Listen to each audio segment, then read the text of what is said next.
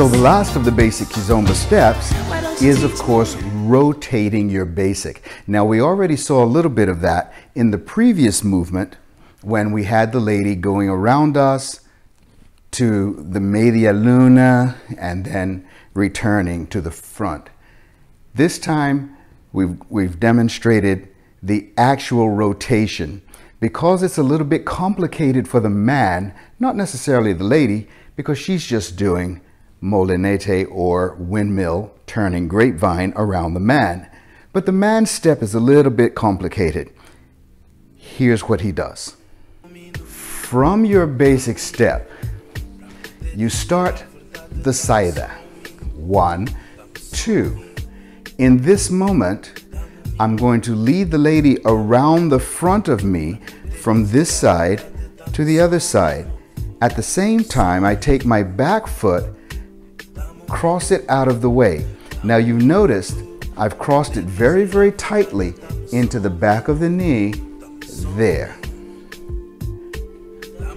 Together, forward, same step. My legs are together very tightly at the legs.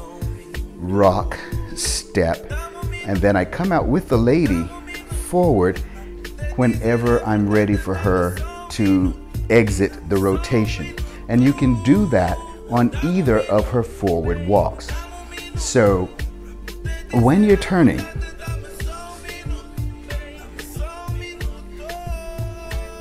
we can stay there and do two or three of them and then come out. Totally up to you.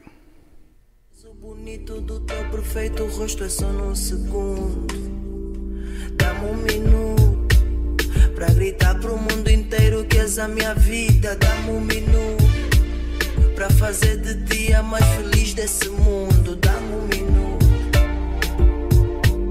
para dizer que eu te amo.